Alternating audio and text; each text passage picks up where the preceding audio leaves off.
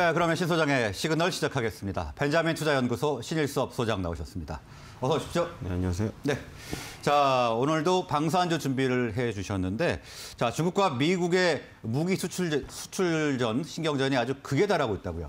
네, 전쟁광 항면 때문에 지금 무슨 난리가 났습니다. 네. 왜 갑자기 이런 세계에서 이런 일을 저지르는지 그 이해를 할 수가 없는데 지금 뭐 핵 억지력 강화 얘기까지 나왔습니다. 근데 솔직히 핵 저기 미국도 많이 갖고 있거든요. 그냥 쏘면 둘다다 죽는 거예요. 근데 왜 그렇게까지 왜 그렇게까지 그 지역이 중요한지 모르겠는데 주, 자기가 보기엔 중요하겠죠. 근데 지금 뭐 중국은 성명 내놓는 거 보면은 완전히 저기예요. 중립이. 얘 원래 원래 중립국은 스위스잖아요. 스위스는 세계 2차 대전 때도 중립국으로 남아가지고 피해를 한 개도 안 봤어요. 스위스는 어디로도 가지 않아요. 시계만 만들고 있지. 근데 이번에 스위스도 저기 러시아 자산, 스위스 맨날 우리 영화 보면 나오잖아요. 뭐 스위스 비밀 계좌에 다 빼가지고 경찰은 절대 못 찾는다고 어? 그런 거 많이 나오잖아요. 네. 우리 뭐 도둑 도둑들이나 이런 거 보면은. 근데 거기서 그 이제 스위스의 비밀 계좌가 많이 있기 때문에 거기 러시아 자산도 엄청나게 많은 13조 원인가 있다고 하는데 그거 동결시켜 버려야겠다고 스위스도 그랬는데 중국은 역시나 그쵸? 세계 인류의 편이 아니었어요. 중국은 성명 내놓는 거 보면 다 중립적인 얘기만 하고 있어. 중립국도 아니면서. 근데 계속 뭐, 뭐, 사태가 뭐 발생, 더 확산되는 건 원치 않지만 뭐 그렇다고 러시아를 제재하거나 이런 일은 벌어지지가 않아요, 중국이. 자국민이 6천 명인가 거기 남아 있는데도 불구하고 참 희한하죠. 6천 명이 러시아에서 철수도 못했어요. 러시아가 통보도 안 해줬다는 얘기인데 그럼에도 불구하고 그쪽 전선에 서 있어야 되기 때문에 반대를 못 하나 봐요. 어쨌든 그 바로 지금 그 처음에 우크라이나 침공 얘기 나올 때 바이든은 확실한 신호가 있다. 그런 얘기를 했는데 중국은 미국이 부추기고 있다. 이런 얘기 했거든요. 근데 결국 침공했죠. 그때가 20일, 21일이었어요. 네. 근데 그때 미국 군수기업 제재를 발표하죠. 중국이. 중국의 주권과 안보를 수호하기 위해서 반해 외제제법의 관련 규정에 의거해서 미국 정부의 대만 무기 수출에 장기간 참여한 기업을 타겟으로 하겠다. 근데 무슨 어떻게 제재를 하겠다는 얘기가 아무것도 없어요. 그 무슨 중국한테 이 뭐 미국이 F F35를 줄 리도 없고 중국이 중국한테 이 미국이 무기를 수출하지를 않잖아요. 왜 수출을 해요? 중국한테 다른 편인데. 근데 무슨 제재를 하겠다는 건지는 정확히 모르겠는데 뭐 Lockheed Martin이 무슨 저기 어? 군수 무기뿐만 아니라 중국 기업하고 민간 쪽에서 협력하는 부분이 있어서 아마 뭐 그쪽을 위성 쪽이나 이게 한 끗 차잖아요. 사실 위성을 날리는 거랑 미사일을 날리는 게 한 끗 차예요. 그래서 Lockheed Martin이 뭐 중국 민간 기업하고 하고 있는 사업들 뭐 그거 제재한다고 하는 것 같은데 정확한 뭐 항상 제재를 한다고 해서 뭔 제재를 했는지 저 밝힌 적이 한 번도 없어요. 지금 이번에도 뭘 무슨 제재를 하겠다는데 어떻게 제재를 하겠다는 건지는 정확히 알 수가 없는 상황이고요. 두 기업을 꼽았는데 Raytheon Technology랑 Lockheed Martin을 제재하겠다. 뭐 어떻게 제재하겠다는지 뭐 안 나왔어요 아무것도. 네. 근데 하나의 중국 원칙에 위배된다. 우리나라 연예인 중에서도 되게 논란이 되었죠. 유명한 연예인인데 대만 편을 안 들고 중국 편을 들어가지고 하나의 대, 중국이라고 우리나라는 반중 감정이 심하기 때문에 그래서 그 연예인이 또 논란이 되었었는데 하나의 중국 원칙이 있고 미중 3개 연합 공보 위배 이 미중 3개의 연합 공보가 뭐냐면 그 중에 하나가 817이라고 1982년 8월 17일에 대만 무기 수출 금지 관련 합의를 둘이 했어요. 근데 그거를 위반했다 이거죠. 왜냐면 2월 7일 날 바로 그 러시아가 우크라이나 침공하기 그 바로 며칠 2주 전 2주 전에 2월 7일 날 미국이 대만에다가 1,191억 원어치 패트리어트 미사일 프로젝트 서비스를 수출했거든요. 네. 그래서 이게 이제 중국이 위협을 받았기 때문에 이런 얘기를 했죠. 그래서 어쨌든 이, 이 여기부터 이미 방산주의 어떤 꿈틀거림 꿈틀거림의 어떤 그게 연기가 피어오르기 시작한 거예요. 여기부터 피어 오르기 시작해가지고 러시아가 우크라이나 침공하면서 방산주가 확 그냥 이래 이, 이대로는 안 되겠다. 왜냐면 우크라이나 지켜준다고 했지만 누구도 지켜주지 않죠. 피를 뭐 나토 회원국이 아니라서 그런 얘기도 있지만 누가 자기네 국민을 파병시켜가지고 지금 그것까지 발견됐잖아요. 러시아 병사가 어, 마지막 죽기 전에 나는 어머니와의 문자가 발견됐잖아요. 네. 나도 너무 싫다고 러, 러시아 병사가 자기도 다왜 여기서 피 흘리고 있는지 모르겠다고. 그러니까 그거는 저기죠. 누구도 자기 국민이 거기에서 피 흘리는 거 싫은데 누가 거기다 파병을 해가지고 구해주겠어요. 그러니까 자기가 자기 자신의 힘을 기르지 않으면 아무 소용이 없는 거예요. 그게. 그러니까 그러다 보니까 다 자주국방으로 힘을 못, 안 기르면 저렇게 되겠구나 해가지고 갑자기 방, 방위 산업체들이 전부 다 지금 급등세를 연출하고 있습니다. 지금 중국이 아까 제재했다는 Raytheon Technology나 Lockheed Martin 있죠? 네. 제가 그 제가 또 미리 얘기 드렸잖아요. 만약에 이 미국 주식이 흔들리고 세계 주식이 흔들리는데 이게 무슨 2008년 세계 금융이나 이런 게 아니기 때문에 오르는 데는 다 오른다. 그래서 그냥 그렇게 만약 그런 그런 상황이 오면은 우크라이나 침공 사태가 오면 Lockheed Martin 사면 그냥 먹는 거다. 근데 Lockheed Martin 신고가 갔잖아요, 지금. 그렇죠? Lockheed Martin이 날라갔어요. 그냥 이거 날라가는 거예요, 그냥 무조건. 당연히 날라가죠. 지금 방위 산업체 가 지금 저기 저기 됐는데 완전 2022년 들어가지고 장대 양봉 세 개를 뽑았어요. 네. Lockheed Martin이. 그래서 지금 Lockheed Martin하고 또 Raytheon Technology도 급등했어요. 자, 지금 레이- 신고가를 기록하고 있죠. 네. Raytheon Technology도 지금 저기 됐어요. 지금 이게 합병돼 가지고 이제 얼마 얼마 저기 없거든요. 그 그래프가 얼마 그려져 있지 않은데 신고가예요, 이것도.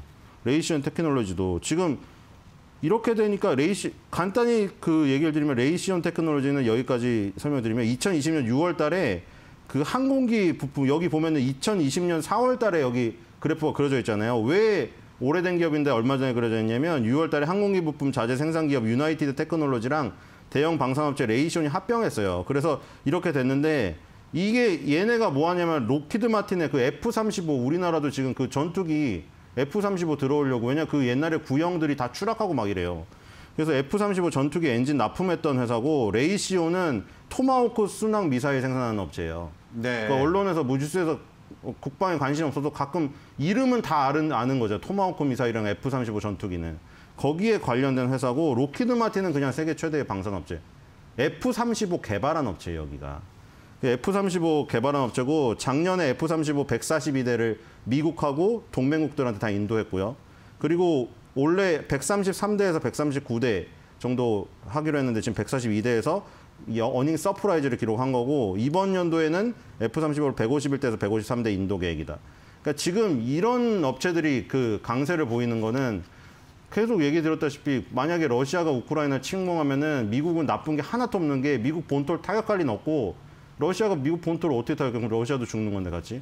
러시아는 타격할 리 없고 그럼 우크라이나만 죽는 거고 옆에 그냥 이 미국은 LNG 유럽에다가 독일이 그 러시아에서 갖고 오는 가스 수출 그거를 그게 없어지니까 미국이 LNG 독일 거 다 먹는 거고 그냥 예. 방산업체 주가 올라가지고 미국은 좋은 거예요. 그러니까, 그러니까 당연히 그냥 Lockheed Martin 같은 거에 투자하면은 증시가 빠지는 거랑 전혀 상관없이 수익을 얻을 수 있는 거죠. 지금 Lockheed Martin 지난 밤에도 5.46% 급등하면서 신고가를 기록했고요. 장대 양봉 세개를 뽑고 있다. 그래서 이 방산주의 지금 흐름이 전 세계적인 흐름으로 가고 있기 때문에 방위산업체의 주가가 좀 중장기적인 흐름을 탈 가능성이 있어서 그런 면에서 우리나라 방산주도 볼 수 볼 수 있는 여지가 생긴 거죠. 네, 지금 글로벌 증시에서 방산주가 이 신고가를 기록하는 가운데 또 푸틴이 이 핵 억지력 강화 발언을 하면서 이제 공분을 사고 있지 않습니까? 또 이것이 이 방산주에 불을 붙인 셈이다 이런 분석도 있던데요. 네, 이렇게 되면 뭐 저- 미국 저기 주식은 좋아요. 미국 주식 네. 투자자는. 왜냐하면 지금 조정받는 게 테크주만 조정받고 있거든요. 예를 들어 지금 테슬라, 그렇죠? 테슬라 조정받고 있고 엔비디아 조정받고 있고 애플 조정받고 있고 이런 것들 있잖아요. 지난해 잘 갔던 테크주들이 조정받는 거지 방산주는 그동안 하나도 안 갔어요. 그리고 엑슨모빌하고 쉐브론이 또 계속 급등하고 있잖아요.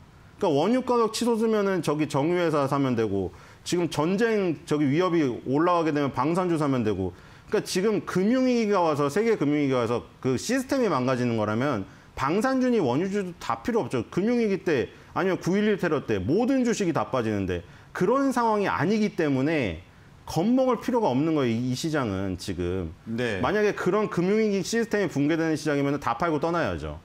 다 팔고 떠나야 되는데 지금 그게 아니라 손, 손바뀜만 일어나고 있을 뿐이죠. 지금 원유주라던가 지금 방산주는 급등을 하고 있습니다. 거기다 이제 불을 또 질러주니까 푸틴이 아 푸틴이 이러다가는 Lockheed Martin 주주가 아닌가 싶을 정도의 의심까지 들어요 이제는. 네. 푸틴이 핵 억지력 강화 발언에서 2월 27일 날 나와가지고 핵 억- 핵무기 포함해서 억지력 부대 전투 임무 특별 모드 돌입 지시했다. 근데 절대 미국 본토는 안 입어요. 왜냐하면 이 그 상호 확증 파괴라고 그 강대국끼리는 이 협약이 있어요. 우리가 만약에 핵으로 피해 보 피해 보면은 그 똑같은 피해 본 만큼 인명 피해, 면적 피해 똑같이 거기다 돌, 되돌려주는 게 있어요. 네. 만약에 러시아가 미국 본토에 만약 주 하나 날렸다. 그럼 러시아도 주 하나에 사- 상대되는 면적과 그 인명만큼 그대로 날아가는 거예요. 서로가. 그러니까 서로는 절대 못 때려요. 그러니까 서로는 절대 못 때리기 때문에 이거는 그냥 주가만 올리는 상황이 발생되는 거죠. 그래서 지금 푸틴이 2월 27일 날 이 이 연설을 하고 나서 하고 나서 갑자기 급등을 시작했습니다. 지금 로키드 마틴이 2월 27일부터 급등했어요. 이게 지금 여기 2월 25일 날 봉을 하나 뽑은 다음에 2월 28일부터 갑자기 장대 양봉 뽑기 시작하잖아요. 푸틴 연설 푸틴이. 연설을 그걸 하고 나서 Lockheed Martin이 날아가 버렸어요. 예. 그러니까 이거는 조사해봐야 돼. 그 스위스 은행에다가 네. 푸틴이 비밀 자산 여기 Lockheed Martin 투자해놨나 안 했나. 진짜 그 정도인 것 같습니다. 예. 자, 그리고 이런 와중에 또 이제 북한은 탄도미사일을 발사했잖아요. 네, 그래서 이게 또 연결고리가 물론 약하다는 사람이 있었어요. 아, 그렇다고 무슨 우크라이나랑 러시아가 했다고 왜 우리나라 방산주가 움직이는 건 억지 아니냐? 막 그거 그냥 주식시장에서 이슈화 시키려고 하는 거 아니냐? 그때 마침 또 북한이 탄도미사일을 날렸어요. 그 사이에. 그래서 더 이제 방- 우리나라 방산주랑 연결고리가 생겼어요, 또. 예. 여기서 이제 이제 또 여기가 위성이랑 그게 한 끗 차거든요, 또. 저 조선중앙통신에서는 그거를 이렇게 발표해서 국가 우주개발국가 우주가 나오죠. 이게 사실 한 끗 차거든요. 탄도미사일을 늘려버리면 그게 위성이 돼버리는 거예요. 기, 사거리를 늘리면 국가 우주개발국가 국방과학원이 27일 날 또 이거 27일이죠. 하필이면은 27일 날 푸틴은 핵 억지력 그 저기 발표를 하고 그다음에 북한은 탄도미사일 쐈어요.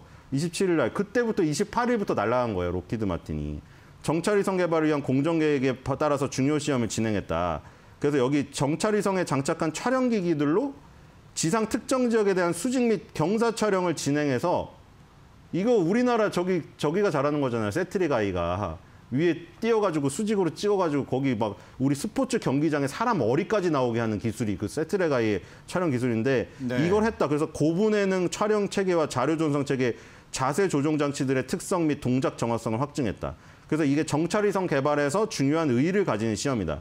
그래서 주- 북한은 우리가 우주 개발에 한 발 더 나갔다 이렇게 발표를 했는데 우리나라는 NSC 소집하면서 북한의 위협이 지금 우크라이나 침공 사태 이 사이에 지금 벌어지고 있다. 이 이렇게 지금 전혀 시각이 달라요 지금 그리고 세계에서는 지금 북한이 또 뭐 위배를 했다. 근데 북한은 계속 지금 자기네가 우주 개발에 지금 정찰위성 어, 다른 데는 다 띄우면서 우리가 우주 개발에 이렇게 힘을 쏟고 있는데 왜 남의 나라 우주 개발에 신경을 쓰냐고 이러고 있죠. 근데 서방이나 뭐 우리 같은 경우에는 저거는 지금 사거리를 계속 늘려가지고 결국 대륙간 탄도미사일을 날리려고 하는 적이다, 작정이다 이러고 있는 거죠. 어쨌든 계속 지금 저 고조되고 있습니다 위기가 전 세계적으로. 네, 러시아와 북한이 위기를 고조시킴에 따라서 지금 방산주가 아, 주가가 계속해서 오르고 있는데요. 자, 탄도미사일 요격 가능한 체계 만드는 LIG 넥스원. 그래서 주목을 좀 받고 있다고요. 네, 그래서 이게 제일 주, 주목을 받고 있는 거죠. 만약에 탄도미사일을 날릴 경우 막아 마- 미사일을 막아야 되잖아요. 그래서 원래 이제 바로 전에 천궁2를 수출한 뉴스까지 나왔잖아요. 천궁2 아랍에미리트랑 최종 계약까지 갔잖아요. 그래서 네. 한화 시스템도 나오고 한화 에어로스페이스 나오고 LIG 넥스원 나왔는데 LIG 넥스원의 천궁2가 천궁1은 이 기능이 없고요. 천궁2가 미사일을 잡을 수가 있어요.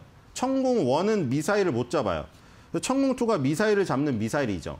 요격 탄도미사일을 요격하는 미사일이죠.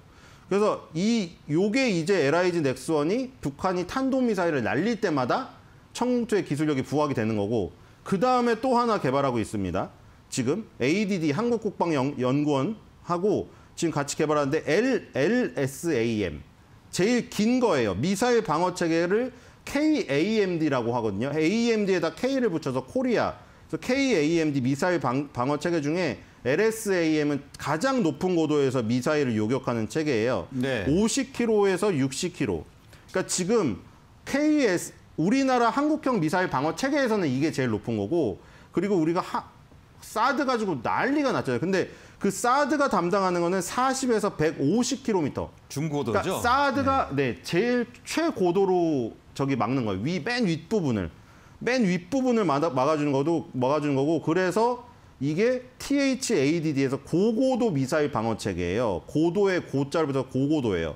그 다음에 옛날에 우리 막 이라크 전쟁 때 맨날 나오고 아까 전에 그 대만의 패트리어트 미사일 체계 해서 중국이 제재한 거잖아요. 그 패트리어트 미사일이 15km에서 40km 하, 하층부를 담당하는 거죠. 지금 L-SAM을 LIG 넥스원이 개발을 하면 사드가 맨 위에 있고 밑에가 패트리, 패트리어트가 있고 중, 중간 부분에서 사드의 밑부분까지 담당하는 게 L-SAM이에요. 그래서 이걸 이제 삼중 체계로 이제 돔을 형성해 버리는 거죠. 공중에다가. 그래서 중거리 지대공 미사일 철매 2가 또 있어요. 요거까지 섞어 가지고 이제 LSM을 편입하면은 이제 우리나라가 다층적인 방어 체계를 구축해서 북한이 탄도 미사일을 만약 날릴 경우에 방어 체계를 할 수 있다. 무슨 뭐 일각에서는 지금 대선 후보 중에서 선제 타격론도 있, 는데 일단은 선제 타격론보다는 일단 왔을 때 방어 체계를 구축하는 대로 지금 가고 있기 때문에 어쨌든 계속 이렇게 위협이 온다.